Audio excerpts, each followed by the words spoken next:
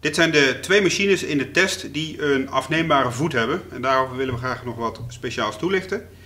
Bij de Festool bestaat het mechanisme om de voet te klemmen uit een nagevreesd gedeelte in de zool, wat geheel vlak is, en een uh, gespuitgrote, lijkt het, aluminium voet, die op elkaar passen.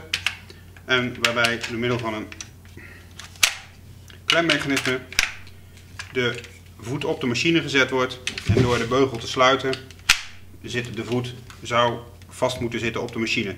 Dat is bij deze machine een stuk beter zo dan bij de eerste Carvex machine, de 400. Maar hij zit nog steeds niet zo muurvast als je wellicht zou hopen en ook zou verwachten. Bij de Mafel uh, is niet alleen de machinevoet nagevreesd, maar is ook de zool zelf nagevreesd. En daardoor is de passing een stuk preciezer. En tevens het sluitingsmechanisme een stuk strakker. En tevens nastelbaar, waardoor deze voet echt spelingsvrij en muurvast op de machine verankerd zit. Naar onze mening een groot voordeel ten opzichte van de bestelbare voet van de Vestel. Het kan voorkomen dat je met je decoupeerzaag eh, onder verstek wilt gaan zagen. Bij een aantal van de machines die we niet hier hebben staan, zit de mogelijkheid standaard ingebakken in de voet die standaard met de machine meegeleverd wordt. Bij de machines waar verwisselbare voeten onder kunnen, kunnen uh, speciale voeten gemonteerd worden die de functionaliteit op het gebied van verstekzagen in grote mate verhogen. De verstelbare versteksel van de Mavel. Dus we halen de standaard zool van de machine af. En we simpelweg, we klikken de zool erop, we zetten hem vast. En dan zit er aan de, deze kant een hendel die opengezet kan worden, waardoor de verstekinstellingen bereikt kunnen worden.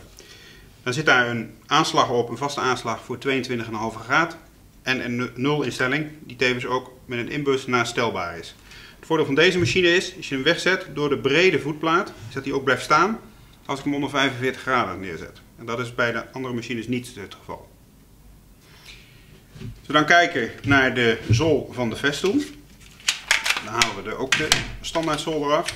Eveneens klikken we de andere zool er eenvoudig op.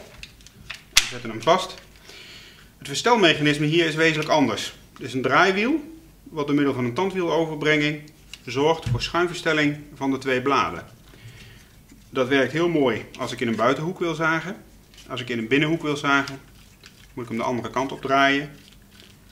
En heb ik nog maar de helft van mijn zool beschikbaar, waardoor de machine iets instabieler wordt.